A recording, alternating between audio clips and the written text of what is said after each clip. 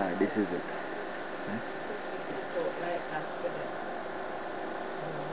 Can drag this over to the TV.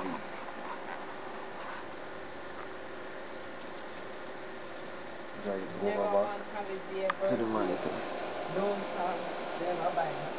Slide it over TV.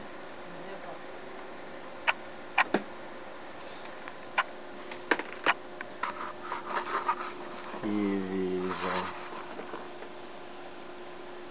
Toshiba.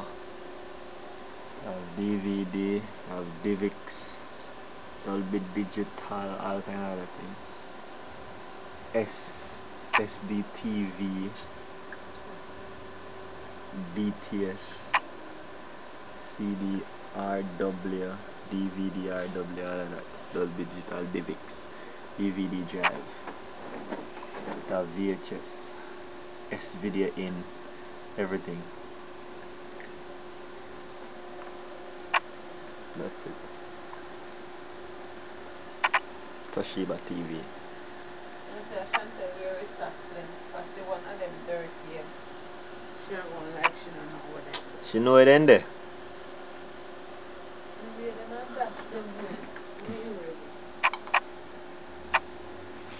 So the same window I can drag over back to the monitor. You see?